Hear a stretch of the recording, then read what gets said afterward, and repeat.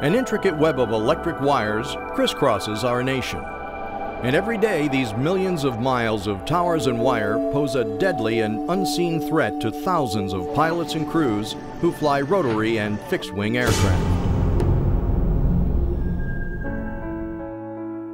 What started as a search for missing 25 year old Kimberly Michelle Turney ended in a rescue effort. Tragically, almost every year an accident occurs where a low flying aircraft comes in contact with a power line. The results are usually fatal. Aircraft are no match for steel towers and power lines. Virtually all new pilots and most experienced pilots never receive wire strike awareness or prevention training. This applies to all pilots, whether they be general aviation, commercial, or military. All of a sudden, I'm looking at uh, the shoreline of the river, and then the water, and then just just multiple strands of wires just just that quick.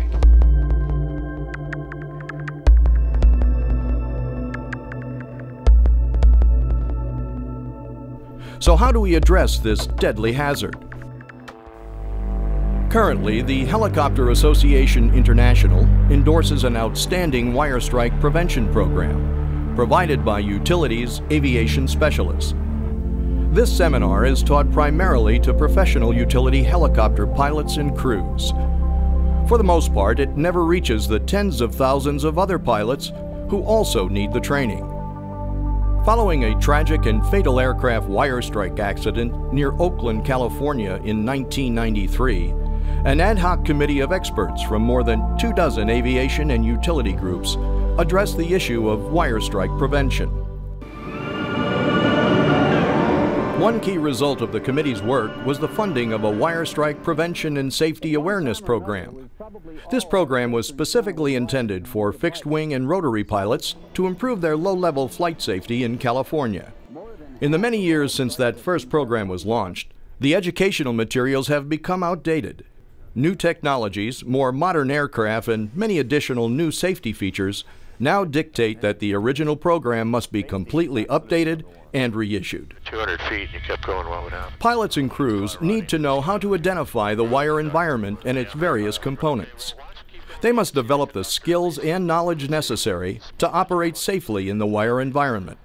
They should be able to forecast the presence of wire before they actually see it all right, I think I see the line down there. Yeah, I got the line, I got the tower on the left. I still don't see the tower on the right, though. And through the testimony of other pilots, they need to know it can happen to anyone. Indeed, it can happen to them. They're totally invisible, never saw any poles or anything whatsoever. Next thing I realize is, is uh, we're in the water and I'm very hurt and uh, the rescuers uh, came out and extricated both of us, brought us in to the shore, and that's that's basically all I remember at that point. There's an immediate need for national wire strike safety awareness and prevention programs. Used in conjunction with in-flight pilot training, a wire strike avoidance program designed for each specific aviation group will help to save lives and help to make our skies safer. To succeed, this program needs the support and financial backing of the aviation organizations that are the bedrock of safety for the industry. These include large trade associations, utility companies, major utility insurance underwriters, the U.S. military, the Air National Guard, and other stakeholder agencies. SCE proposes to manage the project on behalf of those interested organizations, working closely with experienced aviation safety experts such as utilities aviation specialists, to develop the instructional content of the program.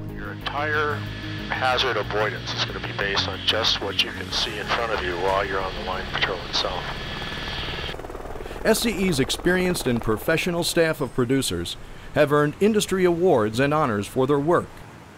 The new program materials will identify the problems of wire strikes, and give the aviation community guidance in how to develop an effective wire avoidance program.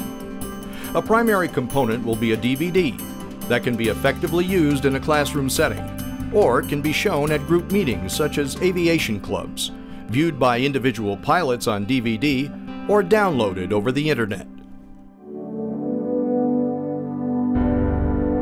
Increasing reliance on electrical energy and national expansion of the transmission system only serves to reinforce the urgent need for this safety project.